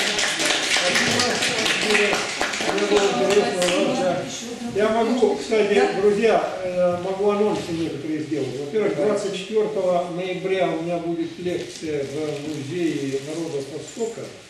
Э, По-моему, там, ну, будет, надо смотреть Рерихов, объявление. Музей Рерихов. Музей Рерика все-таки, да, да, музей Рерика. Значит, вы тогда, да, во сколько? Пять часов, по-моему. Пять часов, да. Будет лекция как раз на тему, вот э, я буду, ну, это будет лекция вечер, как бы вот стихов моего отца. Вот э, французы и суфи будут рассматриваться. Вот. э, Ну и потом я э, хотел бы еще сделать и, и 9, по-моему, декабря уже будет по китайцам и по Шекспиру. Это на самом деле ну, очень интересно. Ну давайте я вам просто, вот чтобы уровень отца вот, показать, мировой высочайший уровень его, потому что он реально ну, классик, так сказать. Вот, Девятый тоже музей будет? а? Девятого где? Девятого в музее народов Востока. Вот Франсуа Вийон, да, например, баллада о поэти- на поэтическом состязании Буа. Э, Когда Франсуа Вийон это был разбойник, реально, как бы, но он э, даже занимался, ну, раскаявшийся разбойник. Э, И он ну, тогда поэт, что- чтобы существовать, ну, сейчас к спонсорам льют, а тогда нужно было при каком-то дворе существовать, и он в- во дворе Карла, Карла Орлеанского э, было сборище поэтов, и пересох колодец. И Карл э, Орлеанский говорит, ну вот э, вам, значит, рифма, э, строка. От жажды умираю над ручьем. Начните стихотворение с этой строки и прочитайте. Ну, было порядка там 20 или 30 поэтов. Что-то кто-то написал. Ну, это кануло в лету. А Франсуа Вийон написал такие стихи, которые отец значит, ну, вот, э, перевел следующим образом. Ну, многие литераторы говорят, это гораздо лучше э, э, Ильи Еренбурга, который сделал перевод там, у него отчизна, так сказать, моя чужбина, и это передает его мироощущение. А здесь все по-другому. От жажды умирая над ручьем, у вас, мой принц, мне тоже одиноко. Дрожу в тепле, мороз мне нипочем. Моя отчизна – журавлиный клекот. Не полагаюсь ни на чьи глаза, своим не верю, верю в чудеса, а ночевать предпочитаю в сене. Порой застанет в нем меня гроза, я принят всем, за это изгнан в сене. Богат, как царь, без дрожи над казной, которую усердно расточаю, Для подданных я государь смешной, лишь миражи им щедро обещаю. Мне из людей всего понятней тот, кто коршуном голубку назовет, кто в очевидность лишь сомнений сеет, а выдумки заглядывает в рот. Я принят всем, за это изгнан всеми. Добра мешок по кочкам зла влачу, Травой ищу под слоем павших листьев, От правды ложь никак не отличу Среди высокочтимых полуистин. А правда где? В раю или в аду? У тех, кто счастлив, кто попал в беду, Рассудит лишь Создатель наше время. Шкаля, не знаю сам, куда бреду, Я принят всем, за это изгнан всеми. От жажды умирая над ручьем, свои желания от всех скрываю, не потому что чересчур учен. Я знаю лишь, что ничего не знаю. От вас же, принц, не смею скрыть того, что многого хочу, но жажду одного – понять всего единственное семя и верю в высшей правды торжество. Я принят всем, за это изгнан всеми.